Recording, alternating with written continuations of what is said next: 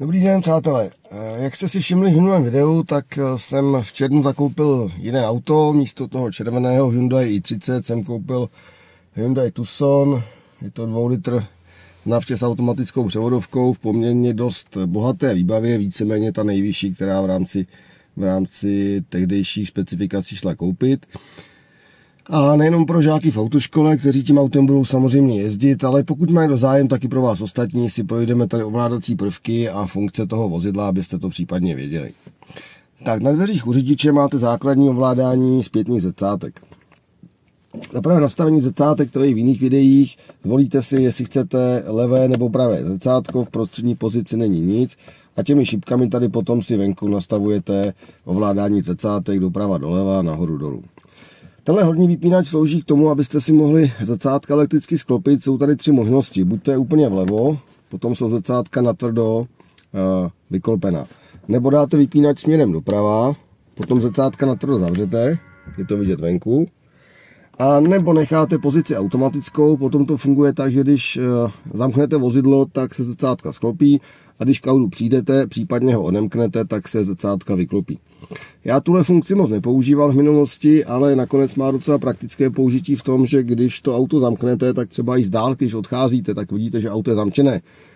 Například jste u někoho na návštěvě, kouknete z balkonu na parkoviště a vidíte, že máte zrcátka sklopená, takže vaše auto určitě zamčené a nezapomněli jste ho zamknout. Takže to je taková praktická funkce. Samozřejmě parkujete někdy v úzké ulici na parkovišti, na sídliště, dobrý nápad si ta zrcátka sklopit, než z auta odejdete. Ovládání centrálního zamykání v autě se můžete zamknout, případně odemknout, tady vidíte, jak fungují ty kličky. Eh, zase není to špatný nápad, hlavně v okamžiku, kdy například ženy jezdí v autě sami, anebo když jste někdy v noci, tak je dobrý nápad zamknout se v autě. Samozřejmě auto umožňuje variantu nastavit automatické zamknutí po rozjetí vozidla. Já opět tohle nepoužívám, v autoškole často vystupujeme, nastupujeme, je to takové otravné, ale pokud jezdíte sami, tak to není špatný nápad a máte o starost méně. Je to samozřejmě pomocí toho palubního nastavení, to už se eh, samozřejmě tím zabývat nebudeme, to už jsou podrobnější věci, u každého auta je to jinak. Tímhle tím knoflíkem máte možnost eh, zablokovat zadní okna. Například pokud vozíte děti, aby za jízdy nebyly z okýnky, nebo vezete nějaké podnapilé kamarády. Na druhou stranu, pokud jsou podnapilí, možná radši ta okýnka nechte, nebo je otevřete, aby v případě potřeby mohli zvracet ven a ne dovnitř. Tady máte ovládání oken, přední, zadní, jak vidíte, přední eh, okno u řidiče spolujezdce mají automatickou funkci, to znamená po zmáčknutí tlačítka úplně dolů má dvě pozice, tak se okno úplně otevře, nebo když dáte nahoru, tak se úplně zavře. A samozřejmě můžete si ho manuálně ovládat, to platí pro zadní, ovládat ten pohyb, to znamená mírným pohybem nahoru nebo dolů otvíráte nebo zavíráte tak, jak potřebujete. Na tom bočním panelu asi všechno. Tenhle ten panílek tady má hodně funkcí, jak vidíte, čudlíky jsou tam obsazené poměrně hodně. První vlevo z vašeho pohledu tak je nastavení skonu předních světometů. Tohle auto, jak jste viděli v tom videu ze světly, má, eh, má světla s LED diod. Eh, není povinností mít nastavení, automatické nastavení sklonu. Eh, každopádně netuším, jestli Hyundai to vůbec dělá u těchto těch aut, netuším. Každopádně auta, které mají xenonová světla standardně, tak mají automatické nastavení výšky. Tam je požadavek, tady není. To znamená, tímhle tím kolečkem si můžete nastavit to, co potřebujete. V našem případě je to nula, to znamená řidič nebo spolujezdec, případně nějaký drobný náklad. Pokud naložíte něco těžkého do kufru, připojíte přívěs nebo máte plně obsazené auto, nosič na kola a podobně natažné zařízení, tak samozřejmě sklopíte, to znamená tím kolečkem otočíte tak, aby jedničku, dvojku nebo trojku, tak aby se přední světlomety sklopily do správné pozice a neoslňovali jste proti řidiče. Nezapomeňte to potom vrátit zpátky dolů, než zase ten náklad vyndáte, ať nesvítíte 5 metrů před auto. Tímhle tím si můžete nastavit eh, podsvětlení přístrojové desky, případně ovládacích prvků toho vozidla, což se může hodit například, když jedete opravdu v tmavé noci mimo město, kde nejsou lampy, tak se může stát, že ty přístroje vás budou příliš moc oslňovat a neuvidíte pořádně na vozovku. Obráceně, pokud třeba svítí slunce, eh, je ten den světlejší a máte rozsvícená světla, zase byste ty přístroje třeba neviděli při příliš tmavém nastavení, takže můžete si plus minus nastavit kolik vám vyhovuje. Tenhle ten horní knoflík je zapnutí, vypnutí hlídání bočních, eh, bočního, bočních vozidel, to znamená, chcete-li mrtvého úhlu. Eh, funguje to tak, že v zadní části auta jsou v nárazníku schované radary, které eh, snímají auta, která projíždějí kolem vás v tom mrtvém úhlu, případně zhruba 15 metrů za vámi. A První signál je to, že v okamžiku, kdy to auto se nachází vedle vás, tak na pravé nebo levé straně svítí, v zrcátku takový malý uh, oranžový symbol autíčka vedle vás. Jestli teďka bude vidět v tom zrcátku, já se pokusím to přiblížit, asi nebude. Ale ukážeme si to, když nastartujeme. Když nastartujete, tak to ten systém, je zapnutý, provede funkční kontrolu, takže teď uvidíte to světilko v tom zrcátku. Rozsvítí se a pokud je všechno v pořádku, tak zasne. Takže to je prosím vás funkce těch, eh, těch toho jídání toho mrtvého úhlu. Funguje to tedy ještě jednou tak, že pokud tam to auto se nachází, tak na pravé nebo levé straně vozidla, případně samozřejmě na obou, pokud jste ve více proudé komunikaci, tak svítí tenhle ten symbol. V okamžiku, kdy dáte směrovku, takže blinker na tu stranu, kde to auto se nachází, doprava nebo doleva, tak se ozývá výstražné pípání. To znamená, systém vás upozorňuje, že se tam nachází auto, o kterém byste nemuseli vědět. Je to docela šikovná funkce, má to eh, jednu výhodu, jednu nevýhodu. Výhoda je v tom, že když například předjíždíte vozidlo na dálnici a podobně, tak ta autička na tom pravém zrcátku nebo levém, v tomto případě, když předjíždíme, vracíme se zpátky na pravém, tak zhasnou. Zhruba ve chvíli se můžete bezpečně vrátit před to auto. To znamená, jste tak daleko, abyste toho řidiče neohrozili. Neříkám, že to je stoprocentní, já doporučuji trošku jiný postup. To znamená, že to vozidlo máte stoprocentně ve zpětném zrcátku středním. Pak je jistě za vámi. Ale i tohle to vám může pomoct v okamžiku, kdy ten signál zasne, tak nejste v kolizní dráze s tím vozidlem, co je na pravé straně. Nevýhoda občas se mi stává, možná i z vás to potvrdíte, pokud to máte v autech, že když jedete podél svodidel, třeba odbočujete z dálnice, tak to auto někdy vyhodnotí, že to svodidlo je vlastně překážkou, že myslí si, že vedle vás v tom pravém prostoru je, je jiné vozidlo. To se mi tady sem tam stává, když odbočuju v Liberci, takže to samozřejmě je nechtěná funkce toho systému. Co s tím souvisí, ten radar má ještě jednu výhodu, dokáže snímat vozidla, která vás křižují takzvaně. To znamená, když vycouváváte z řady, například při parkování, a tohleto vozidlo zaznamená, že se k vám z boku blíží auto a je zhruba mezi, jak říká výrobce, mezi 5 a 20 metry, ale záleží na jeho rychlosti, tak vám na tom eh, displeji začne opět pípat šipička na, na té navigační eh, obrazovce, kde máte zobrazení palubní kamery. A pípání a šipička, že zprava nebo zleva se blíží vozidlo, které se k vám přibližuje z té, z té boční strany, kdybyste to nemuseli vidět, což je docela šikovná funkce a může vám to e, zachránit spoustu komplikací. Tady dole pod tím máte ovládání asistenta na udržování v jízdním pruhu. Opět tady má dvě nastavení, my ho v autoškole nepoužíváme, protože my se učíme jezdit sami, ale má dvě nastavení, buď to pouze upozorňuje, to znamená pípa, až opouštíte pruh, anebo aktivně udržuje v pruhu. Kdo z vás máte zkušenosti se Škodovkami, tak víte, že může ten systém být poměrně hodně agresivní. A co má volantem až Kuba, tady není agresivní příliš a nechá se poměrně lehce přeprat tím, že zatočíte proti němu, nebrání se příliš. Pokud to budete používat ve svých autech, dávejte si pozor hlavně na situace, které jsou nebezpečné, to znamená, pokud jsou dočasné opravované úseky, kde se mění dopravní značení, jsou tam ty žluté čáry. Systém může být zmatený a může vás tlačit do těch značek, do svodidel a podobně, takže doporučuji v těchto případech to vypněte. Moje zkušenost, mám to auto, tohleto krátce, to druhé bíle, tam to mám taky, tam to mám už nějaký ten rok od roku 2020 a musím říct, že jsem nepozoroval, že by třeba nějaké výrazně špatné počasí, třeba hustý déšť nebo sněžení, případně v noci, že by tomu systému nějak vadili. Funguje poměrně dost spolehlivě, ale to je můj osobní názor, nemůžu samozřejmě mluvit za nikoho jiného. Tady máte možnost vypnout eh, systém protiproklus. Eh, my to tady opět nepoužíváme, týká se to nějakých specifických situací, takže my to řešit nebudeme. Dole tady samozřejmě možnost eh, podržet toto tlačítko, musíte ho podržet, tam vstáno hold, takže držet, krátké zmáčknutí nefunguje a tím otevřete ta zadní, eh, to zadní dveře, ten zadní kufr. Upozorňuji na to všechny a říkám to svým žákům, eh, neotvírejte ten kufr, pokud jste v provozu z místa řidiče a nemáte nad tím kontrolu. Pokud stojíte zadní části auta chodníku, tak ten kufr nebo to víko se neje moc, ale otvírá se do chodníku. Někdo tam může jít například s telefonem, může tam běžet, někdo může tam jít dítě na koloběžce, nebo i nějaký dospělý, který by tam jít neměl nebo nedej bože cyklista a jak to otevřete, nemusí dávat pozor a můžete ho tím víkem kufru srazit, zranit, takže prosím vás pozor. Když stojíte přední části auta chodníku, tak ten kufr otvíráte do vozovky. Tam je o to větší riziko, že bude projíždět třeba cyklista podél stojících vozidel a náhle mu otevřete to víko do cesty. Takže prosím vás, doporučení. Jste doma v zahradě, tak úplně v klidu to podržte, otevřte. Jste v provozu, tak doporučuji, kontrolujte to, to znamená běžte dozadu a tam si eh, ten kufr otevřte, abyste věděli, že to je bezpečné pro ostatní. Tohle auto má náhon na všechny čtyři kola pomocí eh, něco jako Haldex spojka u Škodovky, je to nějaký eh, Hyundai Vinales v vozovkách se tak nemenuje, že Haldex je chráněná známka Škodovky a Volkswagenu. Eh, funguje to neúplně asi spolehlivě, já to neskoušel, každopádně máte možnost kromě automatického režimu to zablokovat, to znamená, že to zmáčknete tak natvrdo, auto jede v režimu 4x4, Nevím, jestli to má nějaký velký význam, v autoškole asi pro nás ne. Možná třeba za hodně špatných podmínek, někde v nějakém kopcovitém terénu. Vyzkouším zimě v Liberci, snad nějaká zima bude, uvidíme. To jsou tyhle ty páčky, eh, pardon, čudlíky, moc jich tam už víc navíc nemáme. Na druhé straně toho volantu tak je tady ovládání klimatizace, takže prosím vás a dalších věcí. Eh, standardní, eh, vypnuta asi jasná věc, AC, klimatizace zapnutá na tvrdo. Já osobně klimatizaci, pokud nemusím moc nepoužívám v autě, je ten vzduch dost vysušený a potom se člověku často špatně mluví. Na druhou stranu, pokud je teplota přes nějakých 25 stupňů, tak vám nic jiného moc nezbyde. Eh, nastavení samozřejmě ventilace plus minus, eh, směr toho foukání toho vzduchu, to znamená řidič eh, nahoru, nahoru jaksi vodorovně nebo na nohy. Z pravidla nechávám režim automatický, to auto to vyhodnotí samo docela dobře. Ve spodní části začneme v prostředku. Tady máte možnost pustit si odmlžování předního skla. Nemáme elektrické, třeba od koncernových aut nebo Fordu, je tady pouze vzduchem, takže samozřejmě funguje, až se ten motor aspoň trošku zahřeje.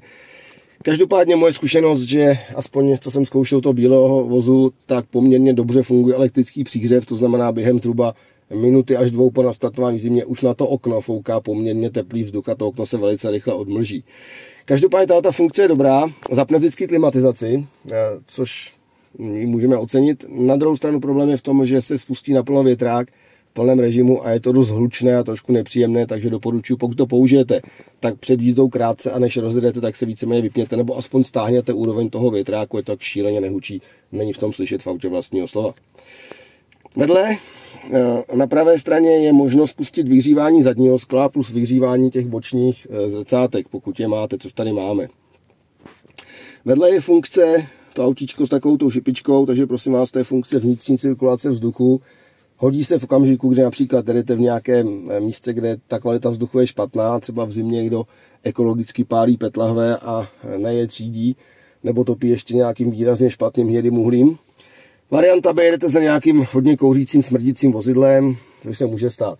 Já v autech používám eh, a měním je dvakrát ročně kabinové filtry s uhlíkem, takže ta, ten zápach zvenku není tak výrazný, musí to být opravdu extrém. Občas se mi stane, že si takhle na podzim na jaře, když je, když je zima, ale není moc velká, otevřu okýnko a pak vlastně cítím ten, ten zápach zvenku, který běžně nevnímám díky tomu uhlíkovému filtru. Že každopádně vnitřní cirkulace, zpravidla to auto po nějaké době, zhruba pěti minutách, to vrátí zpátky na eh, vnější vzduch z důvodu zamlžení čelních oken. Jo? Takže většinou to přepne samo potom zpátky na otevřený vzduch. Tak, tady máte možnost u řidiče spolujezdce. Pustit si vyhřívání přední sedadel, je to ve třech stupních, takže intenzivní, standardní a mírné. A tady to funkce, kterou tady máme, je možnost pustit si i chlazení předních sedadel. Jsou tady kožená sedlata s perforací a s chlazením. Upozorňuji to chlazení, aspoň výrobce to říká, je potřeba používat pouze při zapnuté klimatizaci. Předpokládám, že to je proto, že ty motorky, které ochlazují to sedadlo a ty větráčky, které tam jsou, tak by se mohly poškodit v případě teplého vzduchu, který je ve vozidle, takže netuším, jestli ten důvod, je to možné. Každopádně doporučuje se používat pouze s klimatizací. Ne, že by to bez toho nešlo, je to doporučení. Samozřejmě řídit spolujezdec. A poslední, Můžete si pustit vyhřívání předního, pardon, vyhřívání volantu, ne čelního skla, pardon, vyhřívání volantu. Docela šikovná funkce, pokud vám je zima v, na prsty v zimě, tak samozřejmě je to dobrá funkce. Já jsem původním autě jsem měl nezávislé topení, komfortní věc, ano, souhlasím, hlavně pro motor nakonec. Tady moje zkušenost v tom bílém autě, tam jsem zimy zažil, i pokud je minus 10, nastartujete, pustíte si sedadlo, pustíte si volant, obojí se zahřeje poměrně rychle, sedadlo zhruba do minuty, volant do dvou minut začne topit a vzhledem k tomu, že i to topení funguje docela dobře, tak během, dejme tomu 3, 4, 5 minut už v tom autě není velká zima a funguje to. Tak, to je tady samozřejmě nahoře máme ta výstražná světla, to známe. Volant a páčky vedle volantu, světla se mě na minulém videu, tam se nic moc nemění. Na pravé straně máte ovládání stěračů, k tomu si něco řekneme. Eh, na levé straně té páčky vidíte eh, jak si takový rozvržený diagram toho, co se jak používá. To znamená směrem dolů, když tu páčku dáte, tak vidíte, že tam nedrží, to znamená, tam je pouze jedno setření, takže pokud chcete jednorázově setřít přední okno, třeba z důvodu nějaké, eh, nějaké mlhy, nebo dejme tomu mrholení, nebo něco podobného lehce sněží, můžete ťuknout jednou směrem dolů. Když tu páčku dáte nahoru, do té první pozice, tak máte automatické stěrače, fungují docela dobře. Zase moje zkušenost s koncernem a s Hyundaiem u koncernu občas začnou tak jako chaoticky sebou mlátit, když to není potřeba a za pár sekund se sklidní. Tady zase naopak jsou někdy příliš jaksi rozvážné ty stěrače, takže se nespustí. To znamená, na začátku deště občas se nespustí a když na konci přestává pršet, toho prší už opravdu minimálně, tak občas nesetřou to okno ten poslední cyklus. Že moje doporučení, pokud to dělá problémy, tak zapněte směrem nahoru, no, zapněte směrem nahoru a vraťte směrem dolů. A nebo vypněte na nulu a potom vraťte zpátky na automatické stěrače. To většinou pomáhá resetovat ten systém a to setření se obnoví. Tímhle tím malým knoflíčkem tady vidíte ho můžete v případě potřeby regulovat, ne prosím vás, frekvenci toho stírání, to je u neautomatických stěračů. Tady regulujete citlivost toho snímače. Zase moje zkušenost, trojka, čtyřka, pětka je trošku moc agresivní, dvojka, jednička stírá málo, to znamená třetí a čtvrtý stupeň, to vidíte sami. Když tu páčku dáte ještě nahoru, zapnete trvalé stírání na první rychlost a když to dáte úplně nahoru, tak to je nejvyšší střed nejvyšší rychlostí. E, to běžně moc nevyužijeme. Navíc ta automatické stěrače, když hodně prší, fungují dobře. Moje zkušenost, problém je trošku sněžení, problém je mrholení a podobné věci. Když intenzivně dobře prší dostatečně, tak je to v pořádku, nic se neděje. Když tu páčku přitáhnete k sobě, nakonec nahoře vidíte půl, to znamená přitáhnout, přitáhnete k sobě k k volantu, spustíte ostříkovače předního skla, včetně stěračů. To jsou různé varianty, tady to se zhruba třikrát, čtyřikrát po uvolnění té páčky, aby se to sklo uklidilo. Zase kdo z vás jezdí koncernem, víte, tam máte ještě potom jedno setření asi po třech sekundách nebo čtyřech, které definitivně uklidí to sklo. To tady eh, Korejci nemají, každopádně není to špatná funkce, nemáme to tady, jo. Tak, co je potřeba si říct dál, když to ostřečkovače pouštíte, prosím vás, tak je podržte tu páčku zhruba jednu sekundu. Ne, že uděláte jenom cvrnk, to nefunguje. Musíte podržet, necháte zmáčknuto, ostříkovače stříkají, pustíte a stěrače doběhnou zhruba třikrát a setřou to čelní okno. Chvilku to podržte, ať se to sklo umije a nejenom ať se rozmáže na něm špína. Tímhle tím koncem ovládáte zadní stěrač, tam napsáno, takže nula vypnuto, když dáte funkci do jedničky, stírá to zhruba jednou za 5 sekund plus minus, neměřil jsem to přesně, to znamená takové intervalové stírání. Když to dáte úplně do té dvojky, tak to stírá pořád. Podle mě je to úplná blbost, tak ničemu to není, ale to je samozřejmě zase můj názor. Bez zadního stěrače nakonec můžete poměrně v pohodě jezdit a nic vám nestane, bez předních to moc dlouho nejde. Když byste jeli v nějakém hodně špatném počasí, třeba v zimě na silnici je břečka, rozježdění sníh, nebo zemědělci provádějí nějaký sezónní práce na silnici, natahají bláto z pole, tak samozřejmě ano, to zadní sklo se může poměrně rychle ušpinit a zadní stěrač můžete potřebovat. V běžném dešti zadním oknem pořád vidíte, že za váma třeba je auto nebo není i na parkovišti, tam není potřeba pouštět stěrače, ale můžete. Každopádně můžete si nastavit, vám to zapnuté, že v okamžiku, kdy máte aktiv, aktivní přední stěrače, to znamená buď to je zapnete, nebo jsou v automatickém režimu aktivní, a dáte zpátečku, tak se spustí zadní stěrač. To znamená při couvání u většiny aut zadní stěrač manuálně pouštět nemusíte.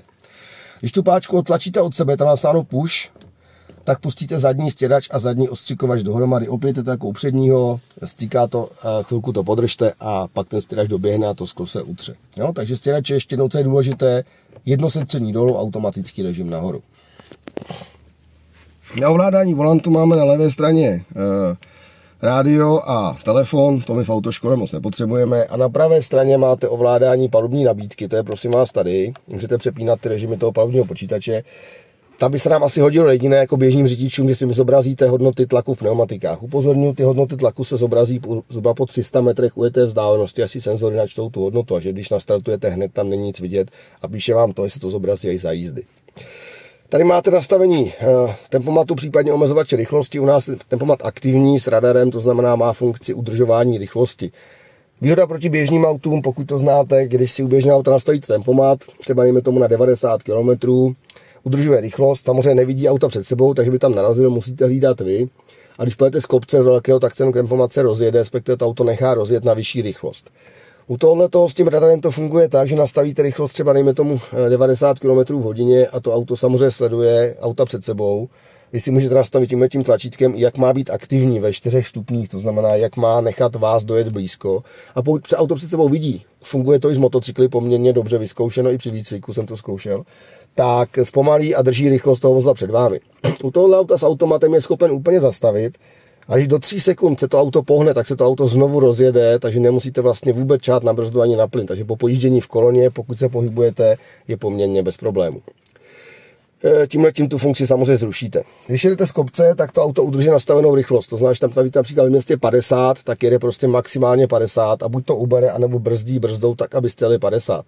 Já jsem nedávno jel někde přes Prahu, tak jsem to zkoušel, když tam máte ty omezení 50 úsekové měření a stavíte si prostě 50 a jedete 50 a nemusíte to vůbec hlídat, nemusíte to myslet, prostě to auto nejede víc a nenechá vás jet víc. Takže Ale ta funkce je velice příjemná a při delších cestách, případně po dálnicích, je to velice příjemná eh, věc. Tím si můžete nastavit samozřejmě plus a minus, to znamená zvýšit si tu rychlost na nebo snížit. Tak k tomu tempomatu, kdo měl zájem, tak samozřejmě se můžete vzdělávat více třeba v návodu k vašemu konkrétnímu autu. Tak, startovací tlačítko jsme už probírali, to je jasná věc, to víme. Poslední, co nám tady zbylo, tak je ta eh, volící páka nebo volič režimu. V automatu neříkám vyloženě řadící páka. Eh, na automat tam máte jiné video, jak vidíte opět, PRND zůstává stejné a manuální režim. Poslední jsou, eh, to jsou tady ty tlačítka za tou, za tou pákou, elektrická brzda, tu už opět známe, eh, aktivujete ji zatažením nahoru, deaktivuje se buď to tím, že máte se šlápnutý brzdový pedál a tu brzdu odjistíte směrem dolů, Upozorňuji na startovaný motor a sešlápnutá brzda, to znamená náhodné odbrždění není možné. A nebo u toho auta to funguje tak, že v okamžiku, kdy máte aktivní brzdu a zvolíte R nebo D, to znamená zvolíte jakýkoliv výjízdní režim, kromě P, tak ta brzda se automaticky odbrzdí. Takže není potřeba čekat na její odbrždění plynem, jako to u některých aut bývá, což mě přijde komfortnější. Že při zařazení D nebo R se automaticky brzda deaktivuje. Eh, eh, drive mod, to znamená možnost nastavit si to, já to nepoužívám, jsou tam dvě verze, normální nebo sportovní. Ve sportovním nastavení převodovka drží vyšší otáčky, eh, možná i trošku rychleji řadí, neskoumal jsem to. Každopádně motor drží vyšší otáčky taky, to znamená, ta převodovka řadí jako i později a je trošku agresivnější nastavení toho plynu, to znamená, plyn má rychlejší odezvu a současně podle výrobce i trošku spevný volant. Já to moc nepozoruji, ani to nepoužívám.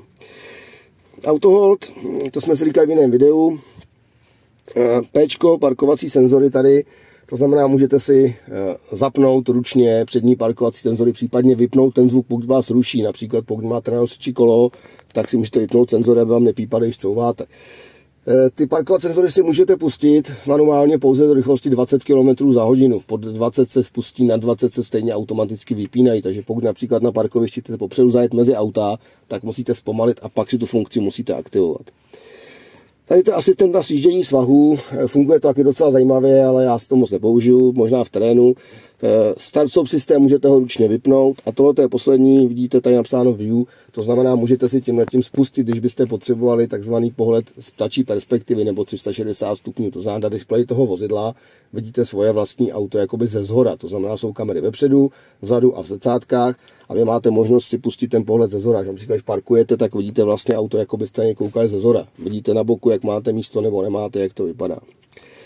Tenhle ten systém se spíná automaticky, když zařadíte zpátečku, to znamená při couvání ho aktivovat nemusíte a můžete si ho pustit sami, když budete chtít. Docela zajímavá vychytávka je to, že si můžete na tom displeji zvolit, kterou kameru chcete. To znamená, jestli chcete přední kameru, nebo přední pravé, nebo přední levé kolo. Že například, když někam k obrubníku, si technicky můžete pustit i konkrétní kolo, které vás zajímá. Když máte zpátečku, samozřejmě to platí zadní kamera, pravé zadní nebo levé zadní kolo. Jo? Takže můžete zvolit různé režimy, to je docela šikovná funkce.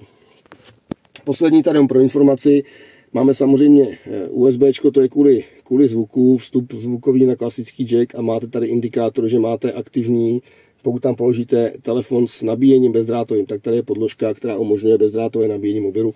Já to v telefonu nemám, ale ta funkce tady je, takže kdo chce, může si nabít telefon během jízdy, mě to nevadí. To auto to utáhne. Tak, to bylo tak zhruba všechno k tomu autu, co by nás mělo zajímat. Eh, poslední, co tady máme, tak je tady zpětné zrcátko jak vidíte na tom zrcátku, je takový vypínač, to znamená, vy si můžete vypnout tu funkci automatického eh, stlumení zrcátka. Funguje to tak, že když jdete v noci a za záměr auto, které má špatně zřízená světla, nebo dejme to má dálková světla, oslňuje vás, tak to zrcátko se stlumí automaticky. To znamená, eh, neoslňuje vás to přes to střední zrcátko, ta funkce se dá vypnout, takže je to možné deaktivovat. Eh, za mě asi všechno, pokud vás napadnou nějaké dotazy, bychom ještě mohli probrat v tom, eh, tak mi samozřejmě napište, buď toto video upravím, nebo v komentářích vám to zodpovím. Tak, mějte hezký den a ať se vám daří.